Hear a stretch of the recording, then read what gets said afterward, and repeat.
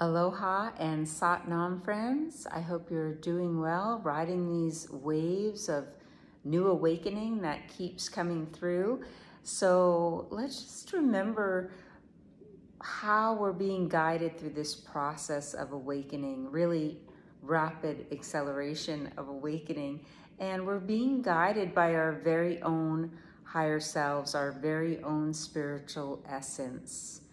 So I want you to just remember or think about maybe for the first time that it's your spiritual essence that's um, guiding you and filtering everything that's coming through with these changes.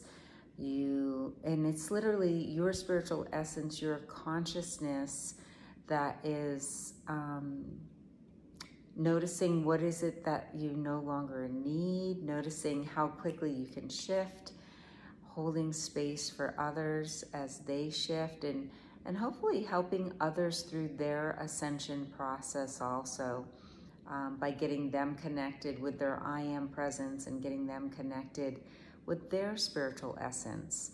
And of course, that's a, a practice, and that's what we do, right? As um, you know, we're both the master and the student, but we we bridge things for other people and maybe even just having this conversation with someone else about um, giving them a foundation for which is what we do on the retreats give people a foundation for having the tools of the meditation and the sound healing and connection with nature to then go ahead and be the bridge for others and be the bridge for yourself. So just two other messages here for august um, it is a, a, rest time, kind of a resting opportunity, um, which may not mean everything is stopped, but um, things are a little quieter.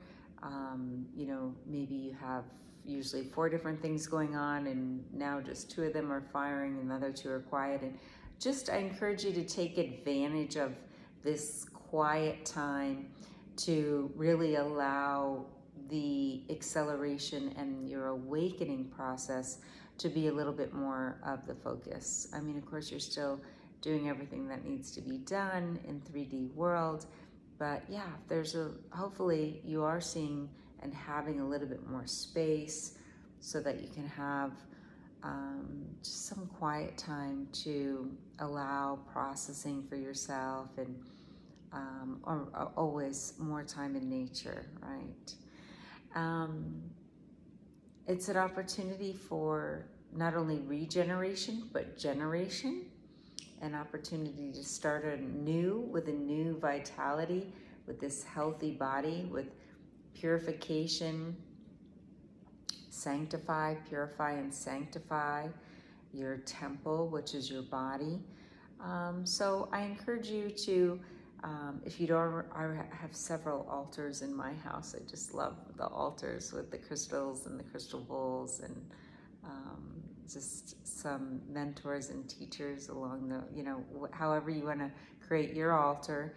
And then as you're sitting at that altar each day, you can actually both be putting things or, you know, energies or situations on the altar that you want purified so it could literally be an altar of purification, which means um, you could think of it like Ho'oponopono, where it's an opportunity for forgiveness, an opportunity to purify, purify your thoughts, the thoughts of the other people, purify circumstances, purify your home. So um, getting, and the purification can also be clarity. So um, yeah, so those are the ideas uh, that were coming through to me as messages for you for August. I hope you're doing fantastic and living your best life ever. And I look forward to seeing you soon. Thanks for tuning in. Good to see you.